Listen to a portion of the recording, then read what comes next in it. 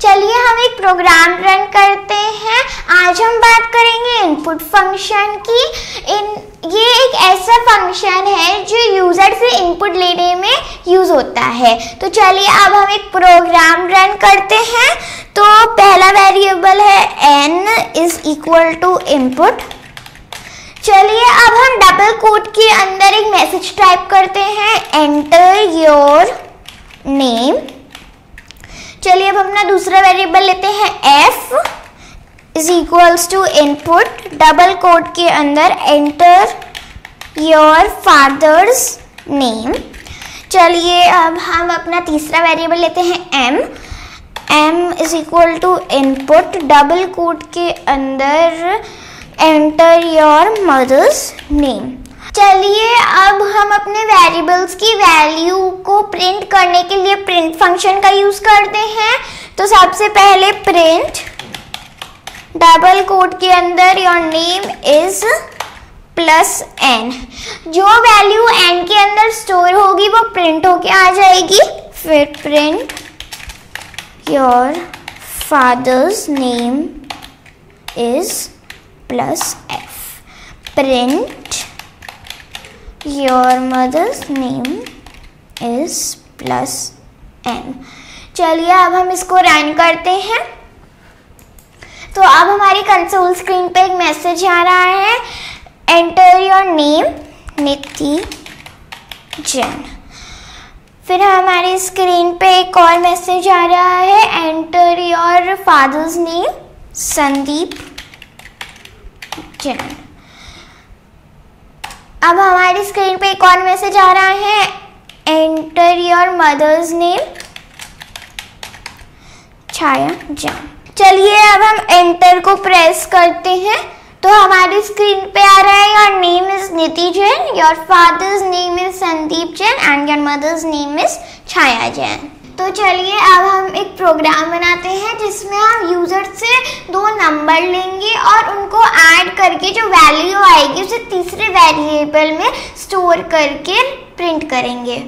चलिए, मैं अपना पहला वेरिएबल लेती हूँ। A is equal to input चलिए, अब हम डबल कोट में एक मैसेज टाइप करते हैं। एंटर द फ़र्स्ट नंबर चलिए अब मैं अपना दूसरा वेरिएबल लेती हूँ. B is equal to input double quote में enter second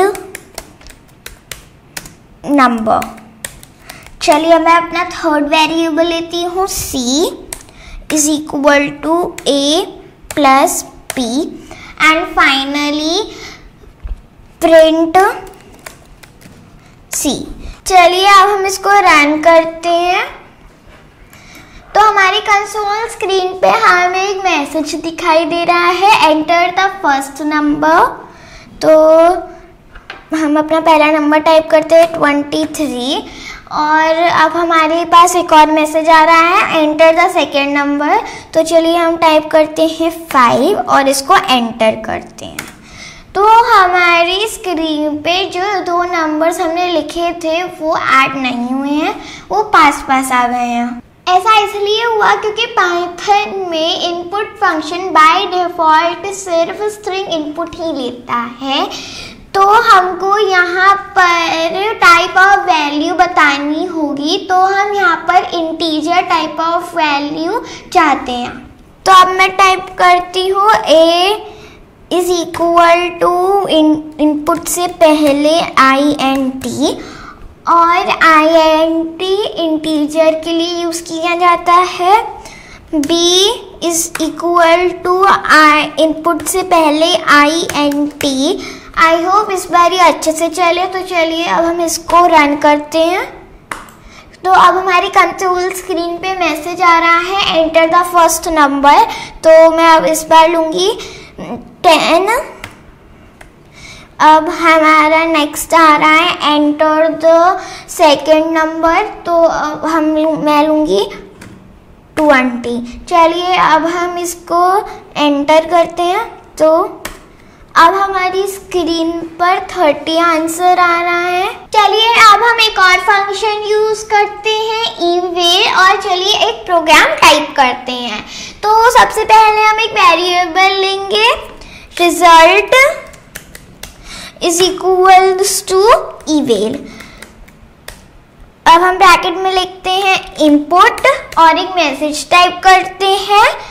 enter an expression चलिए अब हम सेकेंड लाइन में लिखते हैं प्रिंट रिज़ल्ट चलिए अब हम इसको रन करते हैं. तो हमारी कंसोल स्क्रीन पे एक मैसेज आ रहा है एंटर एन एक्सप्रेशन तो हम लेते हैं ten divided by two plus five multiplied by three minus four चलिए अब हम इसको एंटर करते हैं. और हमारी कंसोल स्क्रीन पे आउटपुट आ रहा है 16